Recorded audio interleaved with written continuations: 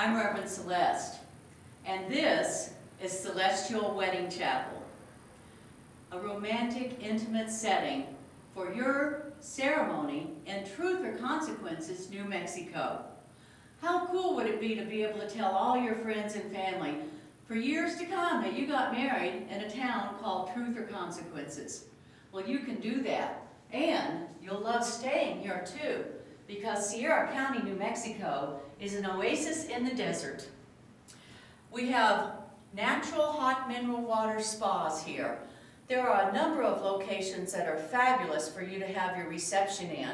Or if you prefer an outdoor ceremony, you can have your reception in one of many courtyards at the Hot Springs lodging places, or you could have your ceremony on the banks of the Rio Grande River, or at Elephant Butte Lake or Caballo Lake. This is a beautiful area with lots of things to do. We've had couples have 50 guests fly in from all over the country, even around the world, to have their wedding here in Truth or Consequences, New Mexico. I'm Reverend Celeste, and I hope that you'll check out newmexicoceremonies.com. New-mexico-ceremonies.com for more info. Thank you.